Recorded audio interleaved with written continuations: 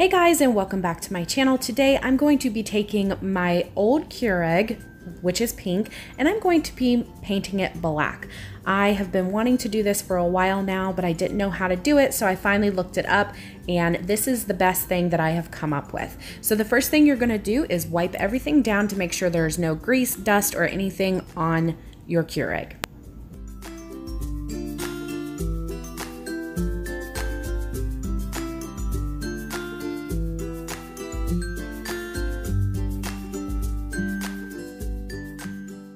Once I was done with that, I dried everything off and then I went ahead and started taping all of the pieces that I did not want to paint. So for example, this little metal piece handle here, I wanted to keep metal and then all of the little buttons and in the very back, there is a clear piece where you put the water and I did not want that to be painted either.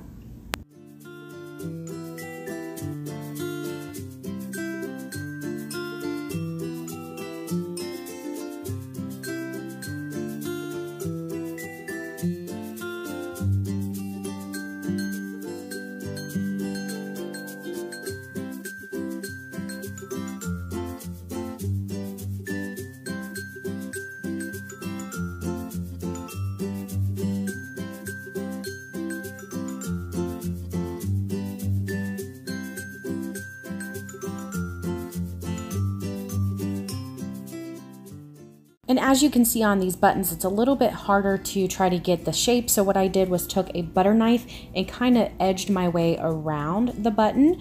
And then I just add a little bit more tape here and there as needed.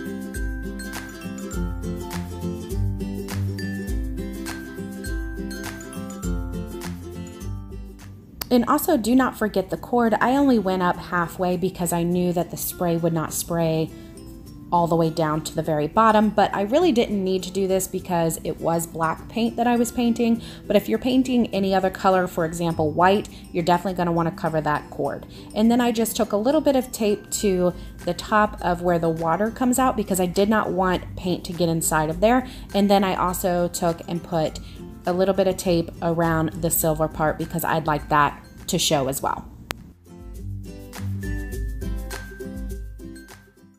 Also, if you're new to my channel, welcome. Thank you guys so much for stopping by. If you would like to, please subscribe and hit that notification bell so that way you get notified every single time I upload a video. And I would really appreciate it if you like this video to give it a big thumbs up. That way I know you enjoyed this video. Now I'm gonna go ahead and go outside and start spraying my Keurig.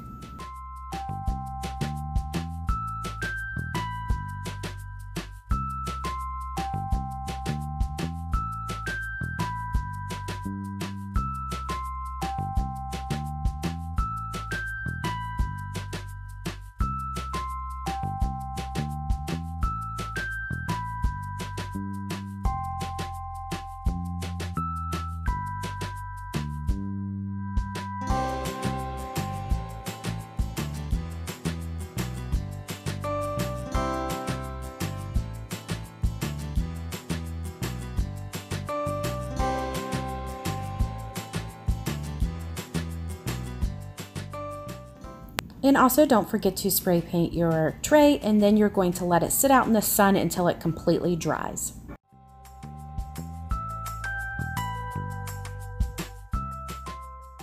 Once everything has dried, you're going to bring it on in and do the most satisfying part, taking off the tape.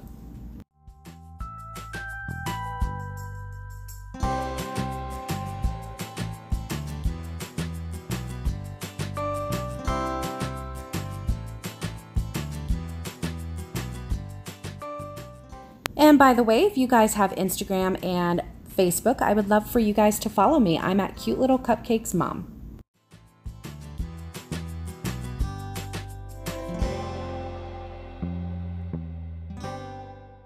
Now that all the tape is off, I'm going to go ahead and wipe it down. That way it gets a good cleaning before I put it away. I'm going to go ahead and put my tray in. And then I noticed these little spots here where I did not get the spray paint. So I took some craft paint out and do not do this. I am showing it to you because it does not look good. It's a totally different color than what my black gloss spray paint is. So what I had to do was take the spray paint outside, spray it on a paper plate, bring it back in, and then I touched up all the little pieces that needed to be touched up. And it looks really, really good. You can't even tell that I touched up the little spots. And there you have a brand new painted Keurig. I didn't even have to go out and buy a brand new one. I just spray painted the old one that I had. Thank you guys so much for watching. I hope you enjoyed this video. Give it a thumbs up, subscribe, and we'll see you guys in the next video. Bye guys.